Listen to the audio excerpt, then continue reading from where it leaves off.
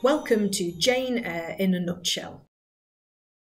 The novel is a first person narrative from the perspective of the title character. The novel's setting is somewhere in the north of England, late in the reign of George III.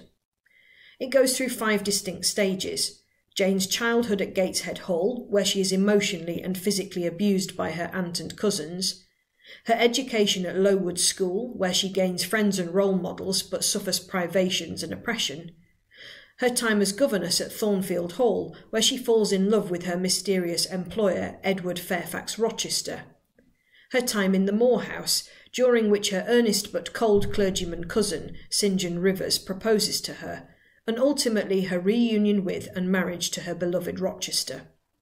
Throughout these sections, the novel provides perspectives on a number of important social issues and ideas, many of which are critical of the status quo.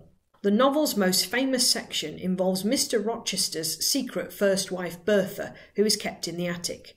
Mr. Rochester explains that his father tricked him into the marriage for her money. Once they were united, he discovered that she was rapidly descending into congenital madness, and so he eventually locked her away in Thornfield. Bertha sets the house on fire and commits suicide by jumping from the roof.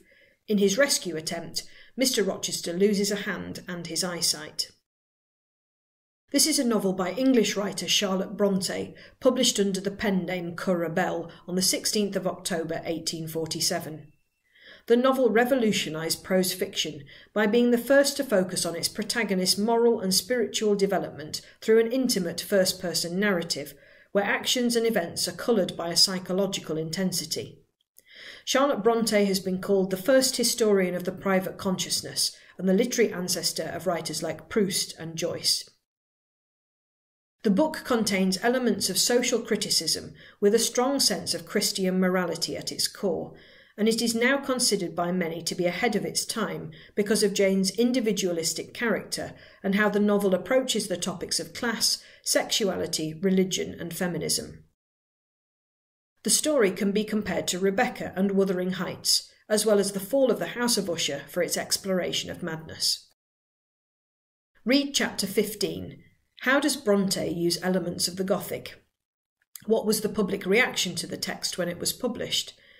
Compare the novel with Wide Sargasso Sea by Jean Rhys.